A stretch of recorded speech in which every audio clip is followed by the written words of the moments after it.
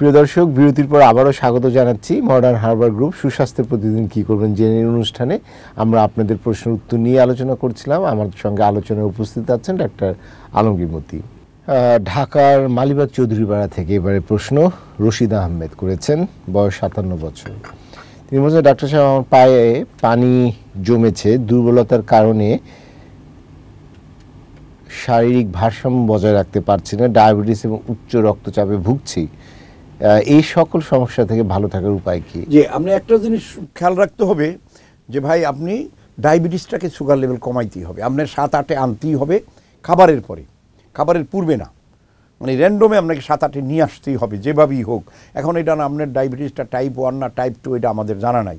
এক নম্বর। দুই নম্বরে, ডায়াবেটিস কমানোর জন্য যে খাবারগুলি আপনাকে খাবেন, এই খাবারগুলোতে আলহামদুলিল্লাহ আপনার রোগের প্রাদুর্ভাবটা অনেকটা রোগের সমস্যাগুলি অনেকটা কমতে থাকবে। আর এই রুগীকে একটু করলার রস এক কাপ পরিমাণ সকালবেলা খেতে হবে। মেথি পাউডার, মেথি ক্রাশ বলে এটাকে মানে মেথি পাউডারটাকে এক কাপ পানির ভিতরে গরম পানিতে গুলে ওইটার এক গ্লাস খাওয়ার তারে অভ্যাস করতে হবে। তার কোষ্ঠকাঠিন্য আছে কিনা এটা খুব ভালোভাবে খেয়াল রাখতে হবে।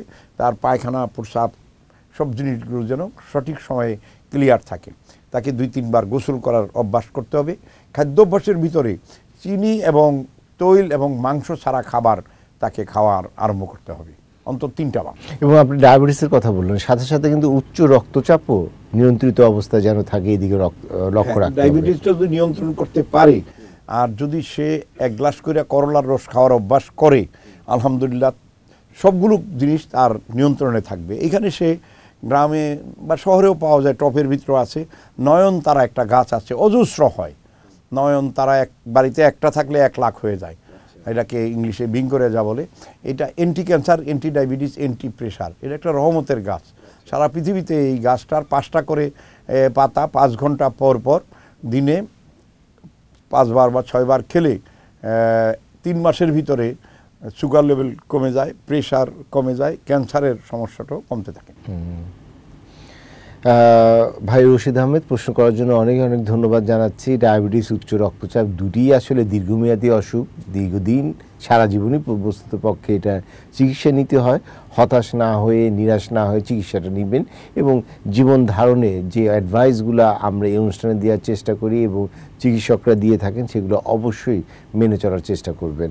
পায়ে পানি আসা এটি সাধারণ কারণেও হতে পারে, আবার অনেক রোগের জটিলতার কারণেও হতে পারে। শারীরিক কোনো লবণ, পানি বা ইলেকট্রোলাইটের ভারসাম্যর কারণেও হতে পারে। আমরা উচ্চ রক্তচাপের, অনিয়ন্ত্রিত উচ্চ রক্তচাপ বা যেটা অনিয়মিত উচ্চ রক্তচাপ হঠাৎ হঠাৎ বাড়ে, হঠাৎ হঠাৎ কমে, সেই কারণে কিন্তু এই সমস্যা হতে পারে। শরীরে এই বিভিন্ন ধরনের যে লবণ পানি আছে, আমরা বলি সোডিয়াম, পটাশিয়াম, এইগুলোর পরিমাণ যদি কমে যায় বা বেড়ে যায়, তখন সেক্ষেত্রেও কিন্তু এটা এটা হতে পারে। আপনার ডায়াবেটিসের বিভিন্ন জটিলতার কারণে কিন্তু এই ধরনের সমস্যাগুলো হতে হতে পারে।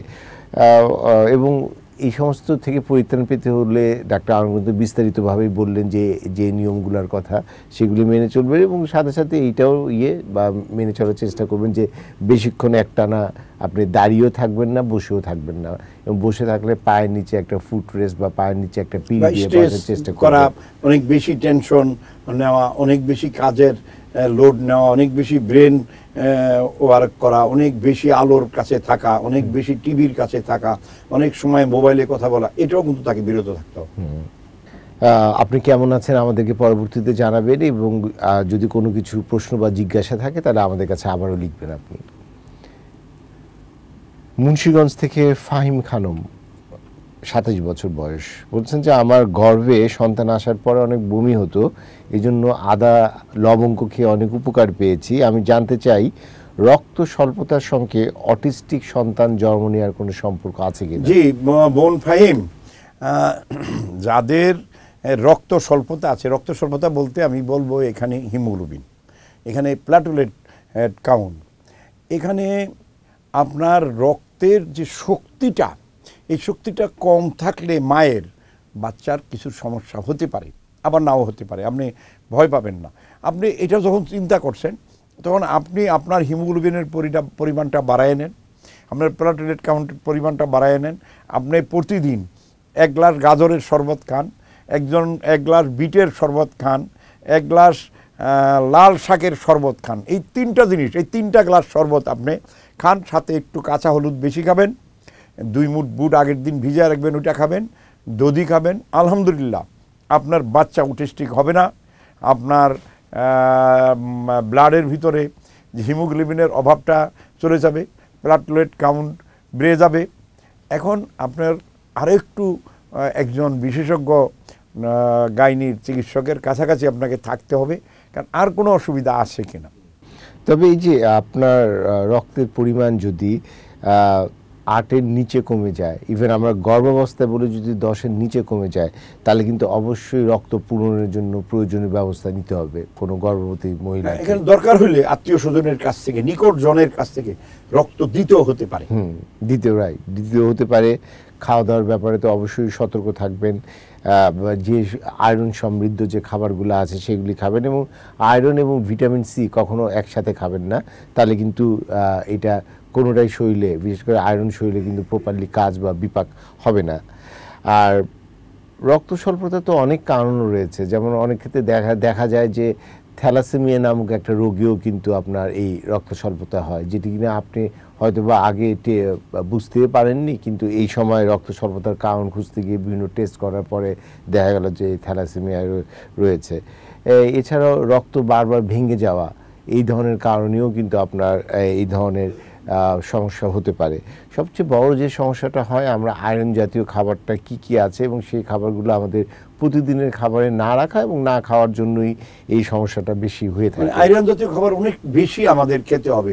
যেমন কটবেল আমরা যত বেশি খেতে পারি আপেল আমরা যত পেয়ারা যত বেশি আমরা খেতে পারি দার্চিনির ভিতরে যথেষ্ট আয়রন আছে দার্চিনি খেতে পারি, স্পেরুলনা, এখন একেবারে সয়লাভ হয়ে গেছে বাংলাদেশে, দশ বারোটা ফ্যাক্টরি এসে গেছে, স্পেরুলনা খুব সস্তা এখন, স্পেরুলনা খুব ভালো একটা আয়রন, আমরা স্পেরুলনা অনেক বেশি খেতে পারি, শাকসবজির ভিতরে অনেক আয়রন আছে, এই আয়রনগুলো আমরা খেতে পারি, আমরা একটু মিষ্টি কুমড়া, মলা, ঢেলা মাছ, ছোট মাছ সাগর পোনা মাছ, গুড়া মাছটা একটু বেশি খেলে, আলহামদুলিল্লাহ, এই ধরনের সমস্যাগুলি আমরা কাটাইয়া তুলতে পারি। তো এখানে বোন একটা কথা বলছে যে, অটিস্টিক বেবিদের সম্পর্কে যে কথাটা বলছে, এখনকার নতুন গবেষণায় দেখা যায় যে মা যদি চার থেকে সাত মাসের ভিতরে, এই তিন মাস, চার, পাঁচ, ছয়, সাত, এই তিনটা মাস মায়ের জন্য একটা নিরাপদ গ্রান্টি দরকার। মা স্বামীর সাথে শাউটিং করতে পারবে না, কাজের লোকের সাথে, পরিবেশের সাথে, বাড়ির লোকের সাথে অসম্ভব বেশি শাউটিং করা, অসম্ভব বেশি চিল্লাচিল্লি করা, অনেক অসম্ভব বেশি স্ট্রেস নেওয়া অসম্ভব টেনশনের ভিতরে বসবাস করা, কুষ্ঠকাঠিন্য থাকা, ঘুম কম হওয়া, মাথা ব্যথা থাকা, অসম্ভব বমি ভাব থাকা, এই জিনিসগুলো থেকে ওই চার থেকে চার, পাঁচ, ছয়, সাত সাত পর্যন্ত। এই মিডল সময়টা একটু এদিকে নিরাপত্তা নিতে হবে। এই সময়টা খুব বেশি ফুড খাওয়া চলবে না।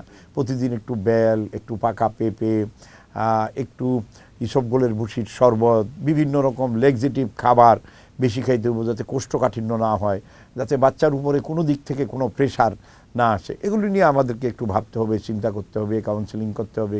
এখন সারা বিশ্বে মা বাপকে দুইজনকেই কাউন্সিলিং করা হয় একজনের না। ওই কাউন্সিলিংগুলোর সময় ওরা এই ব্যাপারটা সেরে দেয় যে এই সময়টা মা বাপে অনেক বেশি ঝগড়াঝাটি আহ, ঝামেলা করতে পারবে না অনেক বেশি পরিষ্কার কাপড় টিস্যু কাপড় পরতে পারবে না কটনের কাপড়টা বেশি পরবে। এই জিনিসগুলো একটু স্মরণে রাখতে হবে। তবে কলাটা কমন এই সময় যত বেশি কলা যদি শরীরে কোনো অবজেকশন না থাকে তাহলে কলা খেলে খুবই ভালো। ডাক্তার আনুগমতি আমাদের আজকের মতো এখানেই শেষ করতে হচ্ছে। আপনাকে অনেক ধন্যবাদ জানাচ্ছি বিজয় টিভির স্টুডিওতে আসার জন্য এবং আমাদের দর্শকদের প্রশ্নের উত্তর দেওয়ার জন্য। প্রিয় দর্শক, আজকের মতো এই ছিল আপনাদের জন্য আমাদের আয়োজন। আপনারা এই অনুষ্ঠানটি দেখতে থাকবেন এবং আপনাদের কোনো পরামর্শ থাকলে আমাদেরকে অবশ্যই জানাবেন। টিভি স্ক্রলে যে মোবাইল নম্বর আছে, সেই নাম্বারে ফোন করে আপনাদের কোনো প্রশ্ন, কোনো পরামর্শ, কোনো মতামত আমাদের কাছে জানাবেন এবং আপনারা অবশ্যই আমাদের কাছে চিঠিও লিখবেন। আপনাদের প্রশ্ন থাকলে। চিঠি লেখার ঠিকানা হচ্ছে মডার্ন হারবার গ্রুপ দুই নম্বর শহীদ তাজউদ্দিন রোড, মগবাজার, ঢাকা। এবং আপনারা অনেকেই আমাদের কাছে জানিয়েছেন যে ফেসবুক এবং ইউটিউবে এই অনুষ্ঠানটির বিভিন্ন পর্বগুলো আপনারা পরিবার সহ মনোযোগ দিয়ে দেখছেন, বারবার দেখছেন এবং এইগুলো দেখার ফলে আপনাদের জানা বোঝার পরিধিটা অনেক বাড়ছে এবং আপনাদের এই ধরনের উৎসবব্যঞ্জক বক্তব্য আমাদেরকে নিশ্চয়ই অনেক উৎসাহিত করে এবং আমার, আমরাও এই প্রচেষ্টাটা অব্যাহত রাখব। দর্শক, আপনারা জানেন যে সুস্বাস্থ্যে প্রতিদিন কি করবেন যে অনুষ্ঠানটি। বিজয় টিভিতে বাংলাদেশ সময় প্রতিদিন রাত এগারোটা পঁয়ত্রিশ মিনিটে এবং রাত তিনটা তিরিশ মিনিটে প্রচারিত অনুষ্ঠানটি দেখবেন। সবাইকে শুভেচ্ছা জানিয়ে আজকের মতো এখানেই শেষ করছি। শুভরাত্রি।